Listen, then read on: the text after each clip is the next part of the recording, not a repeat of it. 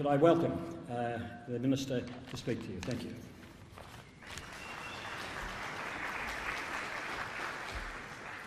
Well, thank you very much, Harold. It's, uh, it's great to be here. You know, one of the things about the television industry that's so exciting is that, you know, you talk about all the changes and the internet and, and catch up television and, uh, you know, 17 channels, digital channels.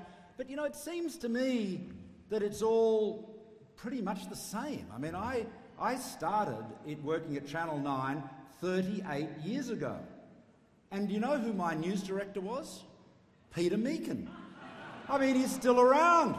And then it was succeeded by Ian Cook. And Cookie was Cookie's still around. And you know, it was just it was it was incredible. I was a, a huge disappointment to both Meakin and Cook because I was covering state parliament, and and my sign off was Malcolm Turnbull, National Nine News, and according to my my betters and elders, they said, What is this Malcolm Turnbull pause National Nine News? It's got a flow.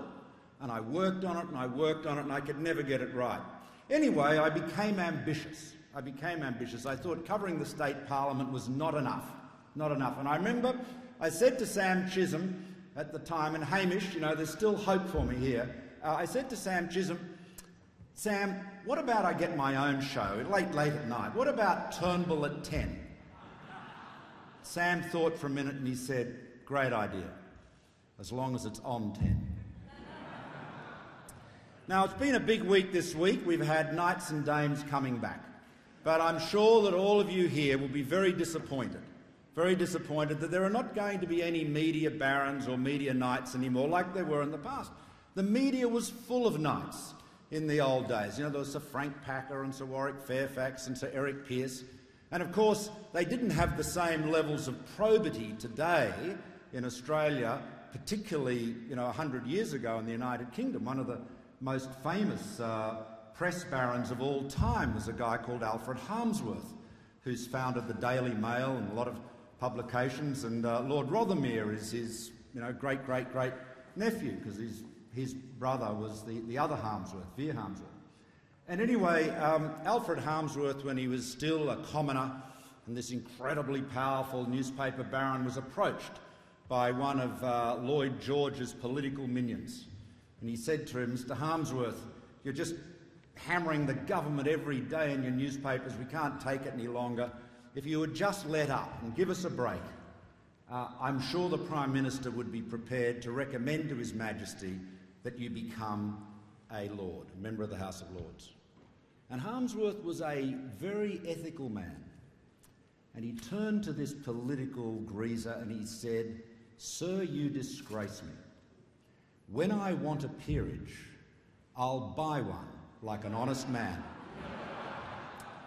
And of course, you know, people have said, people have tried to suggest that the announcement yesterday about the return to knights and dames is going back to the past. Well, it, I mean, it is, it's not since 1983 that knights and dames have been appointed in the Order of Australia.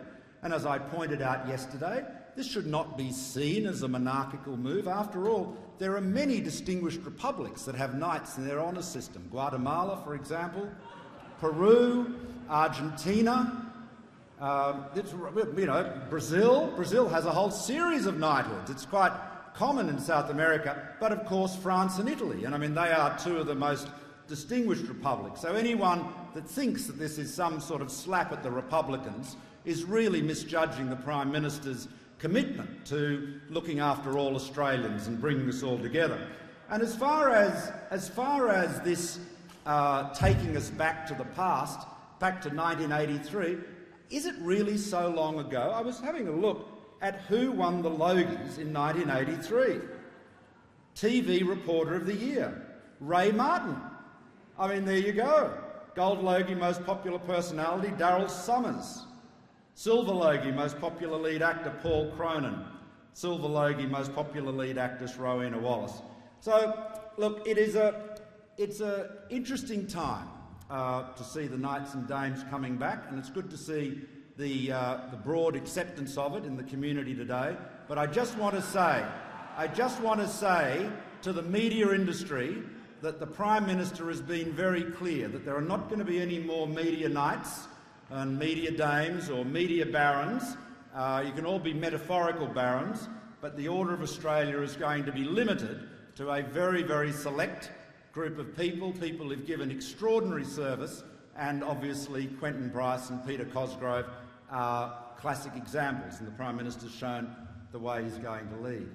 Now, in the, in the uh, television industry, we've seen, as I said earlier, this extraordinary development. I think, you know, I think back to the times when I was first involved in it, working for Kerry Packer at uh, Channel 9, and of course one of my great mentors and friends was Bruce Gyngell, and it's, uh, it always, I find it incredibly moving uh, to see that his son David has uh, followed and followed so successfully in his uh, father's footsteps. For footsteps, um, I mean, Bruce was a um, Bruce was a very, very shrewd television uh, leader, and of course was very successful both at Seven, at Nine, at SBS. He was the founding chief executive at SBS, and of course he was also the, um, you know, the, the chief executive that turned TVAM around in the United Kingdom. So he had an extraordinarily successful career. And he told me one thing that every television executive here would know is absolutely right. He said to me when I was just a, a boy, I, I'm not even sure whether David was, David was around, he would have been a toddler at the time. He said to me, Malcolm, one of the things you've got to understand about the television industry is that everybody thinks they're a programmer. And that is, and you know, you all get that. Everyone's got a view about what should be on the news, what should be on Sunday night, and so forth. But the great thing about the technologies of the internet, and of course we're going to see what HBB offers us shortly, the great thing about it is that it offers extraordinary choice. You know, free to air's great selling proposition to the consumer is that it's free. But what we have now got is, an, is extraordinary choice, variety that would have been hitherto uh, unimaginable. And I don't think there is anywhere in the world where, a, uh, where there is a, a, a nation where the free-to-air offering is as diverse and rich, uh, as competitive, as you know, aggressively competitive in many ways, as it is in Australia. And it's a great tribute to all of you and the work that you do. Because as one of the young ladies speaking in the, in the reel earlier, these are all Mr Mitchell's, uh, you know, granddaughters, I think, that seem to be very supportive. But the, one of the things, uh, one of the things that the, the young lady made, point she made, was that essentially this is part of Australia. And, you know, we, we like to think of ourselves as an egalitarian nation, and we are a very egalitarian nation. Uh, and, uh, you know, Jack is as good as his master in Australia. And, but we're not, you know, we're not some kind of communist state where everyone has to wear the same things or earn the same amount of money. But one of the things that underpins the egalitarian nature of Australia, the fairness of Australia, is the fact that all of this television content is free. It is free. It's available to anyone that can afford a television or can get access to a television. And that is a remarkable thing, and it's a tribute to all of the policymakers that have preceded us in government, but above all, it's a tribute to you and all of your predecessors in the television industry, some of whom I've mentioned tonight, and all of whom I've enjoyed uh, knowing for 38 years, crossing swords with occasionally, but all the time. It's been an exciting ride, and I'm delighted to be your minister and I can't tell you how much I applaud and support the great work you do. So thank you very much for inviting me here tonight.